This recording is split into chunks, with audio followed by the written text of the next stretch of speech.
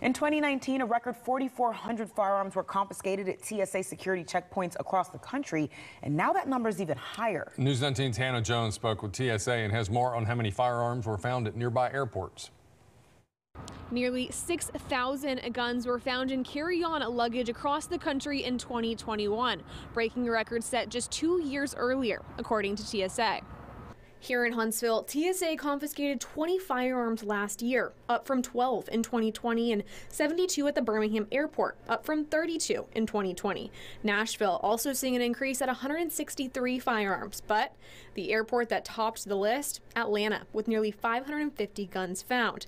Federal Security Director for TSA in Alabama, Gail Linkins, tells me they believe the increase is likely because more people are carrying guns in their day to day life.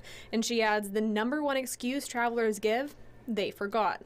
When you're getting ready to pack to go on a trip, particularly if you're going to be bringing something on your carry on, uh, open that bag, take every single thing out of it, and open up all the zippers and look in the pockets because sometimes the weapon is secreted in a pocket in the carry on bag. But she assures travelers they can bring a gun. You can travel with a firearm. You just have to check it in your checked baggage. It has to be in a locked case. The ammunition has to be separate from the gun and the gun must be unloaded. You also must declare that you have that gun in your checked baggage when you check in with the airline. Huntsville International spokesperson Mary Swanstrom urges travelers to follow TSA's policy, as it can be a costly mistake.